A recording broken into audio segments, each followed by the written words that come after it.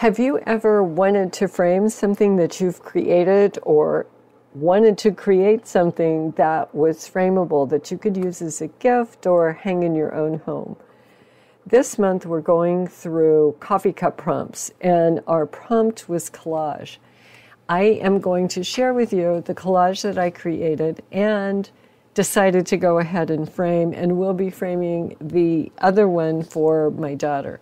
So Give me just a second, I'll introduce my channel, and then we'll get started to work on those two collages.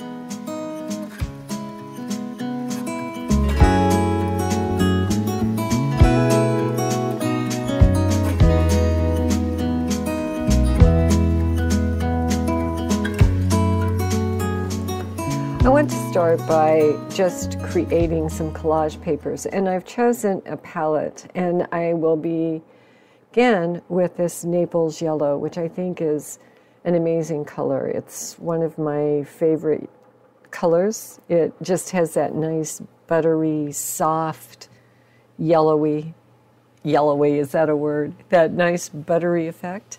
And I've just picked out some, some stencils. Um, this particular stencil came in one of my Stencil Girl shipments. Um, I did belong to Stencil Girl for quite a while. I had to finally stop because I was getting so many stencils, and not that that's a bad thing. I think I will probably start up once again, but in any event, I'm pulling uh, the color out of the vacant spaces on the press, and we'll pick this up and allow this to dry before I put my second color down.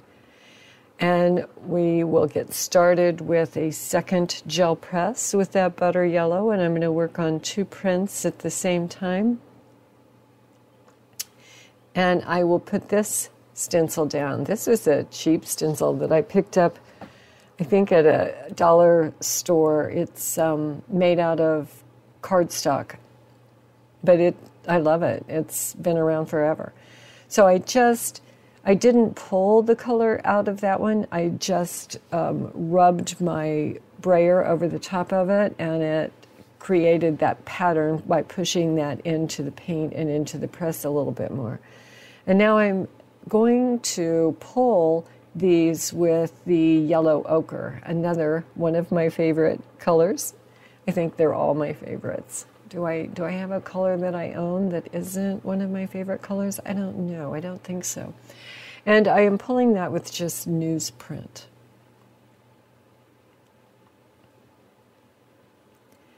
And I've laid the newsprint down. I'm going to let that sit for a bit. I'm putting some bubble bubbles, some bubble wrap over the yellow ochre on this second one. And here we go.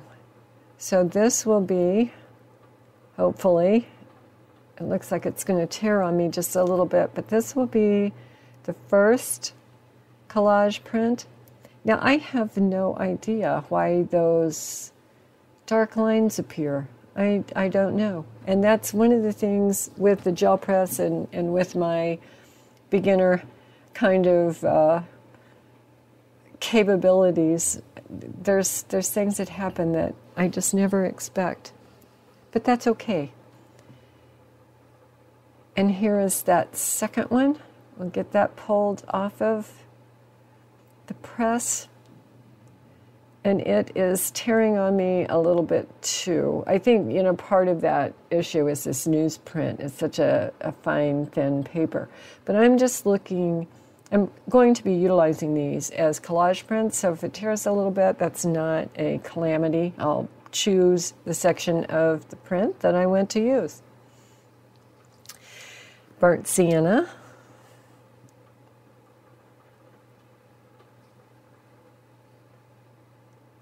Another stencil. I'm just going to brayer that stencil down, pull some of that color out with this kind of tear paper. I'm kind of liking the way that that drop paper is looking, or that catch paper is looking. That's catching my my off fall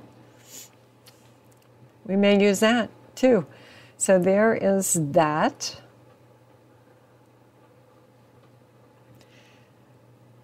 let's pull that. Once it dried to the touch, I'm putting down a combination of the yellow ochre and the Naples yellow.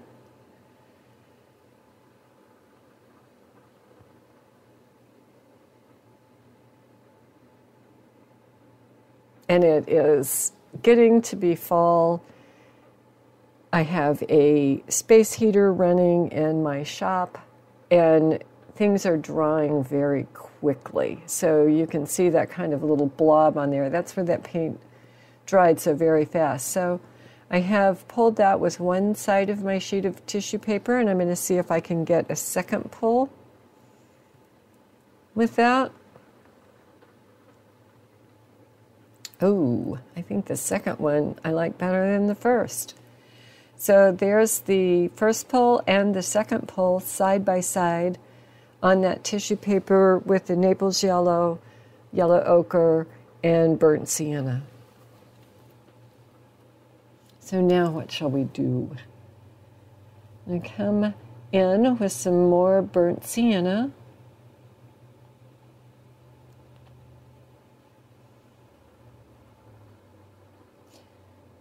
And I'm into the leaf thing right now, so I'm trying to choose colors that kind of re- are reminiscent to me of fall, which is my favorite time of year. I've used the word favorite a lot in this video, haven't I?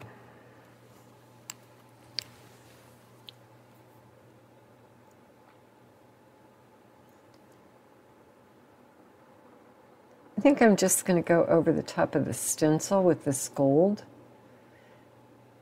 because it doesn't look like the stencil has really left a great impression on the press. So let's see what happens when we do this. And there we go. So we'll set that aside, allow that to dry a bit. We'll clean that off on my catch paper here because we use the catch paper in in projects, and you know that may be part of our collage as well. So let's see how this one turned out. And I pulled this on a on a deli sheet, and that did not produce much of anything. It looks like the paint dried on the press, didn't pull off on my my deli paper. So I'm just re-moisturizing, if you will, the press with that Naples yellow and we'll see if we can get something. This is not much.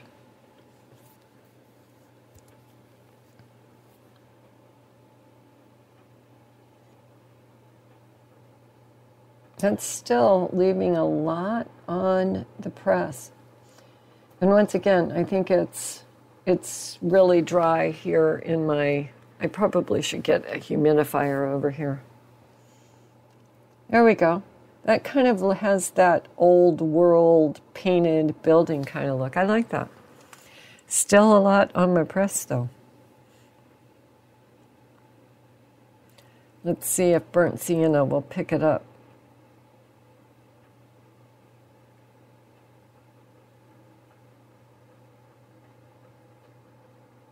Let's just comb through that.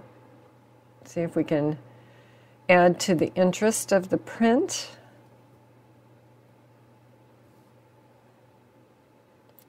More newsprint. And we're starting to get the, the, the press clean. I like that. That turned out pretty decent. I'm just experimenting. I'm just playing. I'm not going into any big, huge thought process in, in gel press um, printing for the collage, I'm just thinking more color than anything, and I'm just exploring and playing, and it's just kind of a relaxing afternoon to not have any pressure for the outcome. I still am trying to get all that paint cleaned off my, my press so I can put my press away and start collaging.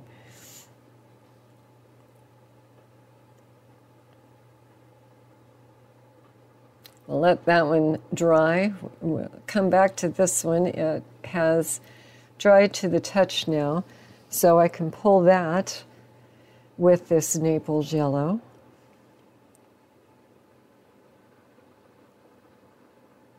I'm still trying to get something on one of those deli sheets.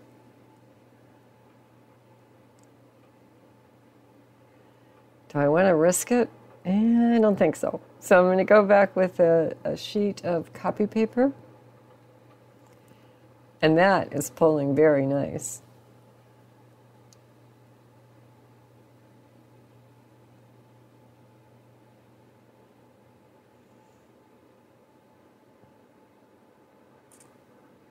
I would call that a successful pull. So I can stick that, press aside, well, maybe do one more.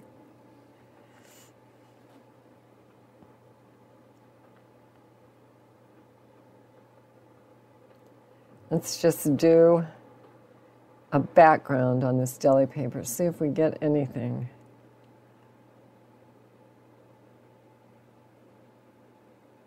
There we go. And that cleaned up that press as well, kind of. We'll give it one more, one more swipe. Oh, look at that. It always amazes me as to what is left on the press that we can't see with the human eye. So I think my press is pretty clean. I can set that aside. I've got a couple of pretty decent little pulls off of cleaning the press. And let's see if this finally got all of that goo off and it did. And i think we have one more that you know is kind of that old world looking. So here are the prints that we have together to do this collage. And we're going to do two collages one set of three.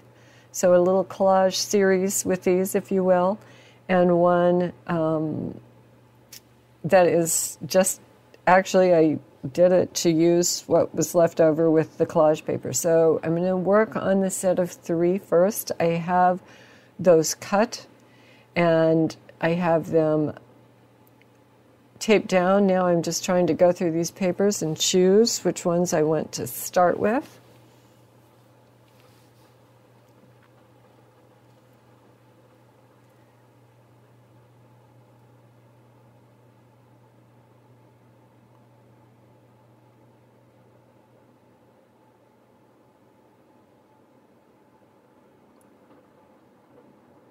Okay, I think I have picked out what I want to use. I mean, I'm shuffling through these over and over. I know, I get it.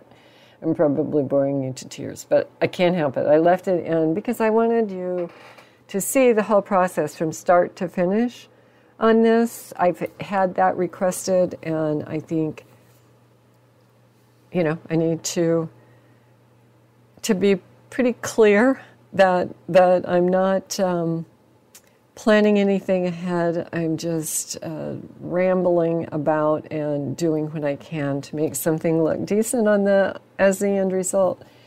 So I've chosen and will begin to collage these pieces together. And I've decided,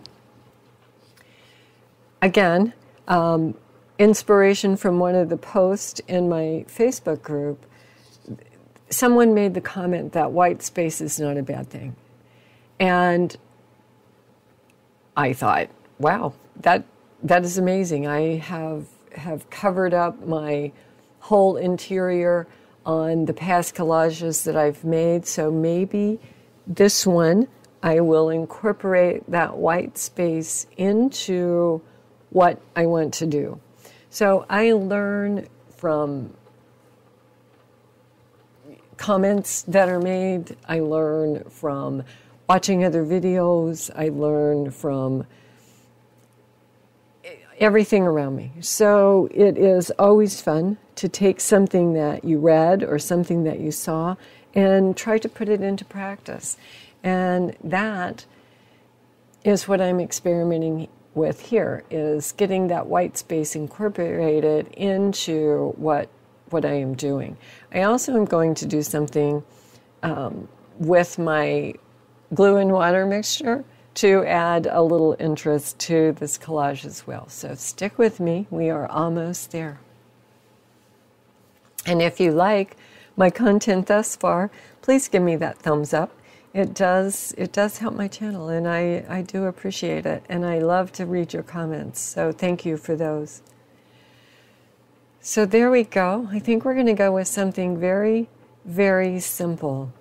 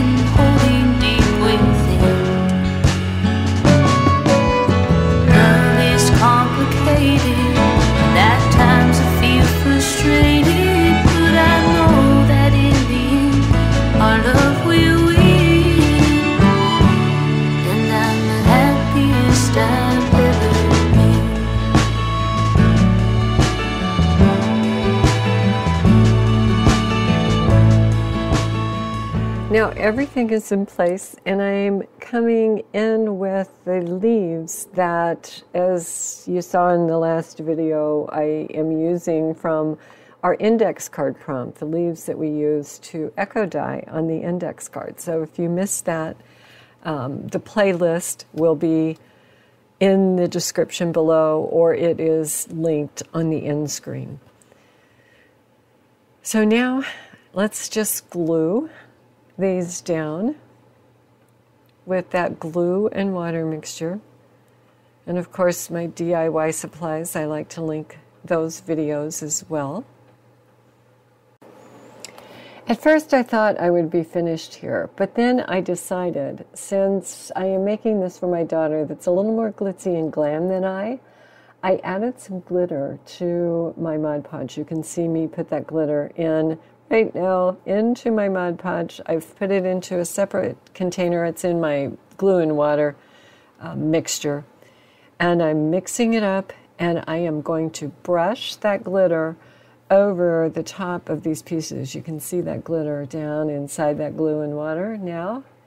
And we'll see. I may ruin these and it may turn out okay. We'll see. We'll see what happens. So I'm testing it over here on the side, I think. And let's be brave.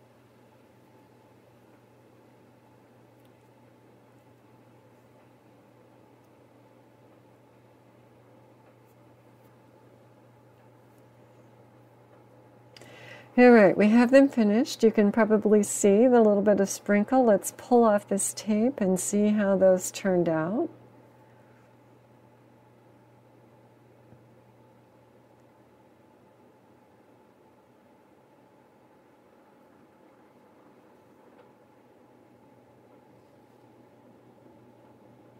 I like it. I think it turned out pretty good. Got one just little blob right there I went to get evened out. And I think she'll like these.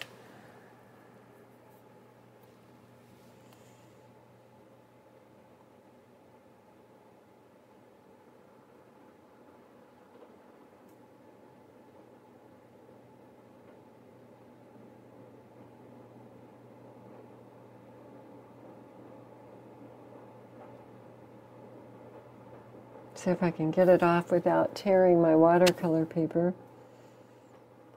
That's always a challenge.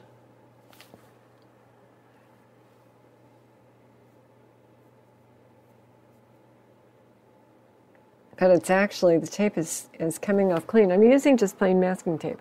I've bought painter's tape and used that and had and struggled with it. I bought artist tape and used that and struggled with it. It was um, considerably more expensive, and I thought, this is the answer. This is what this is what people are using, and and it still ripped my paper.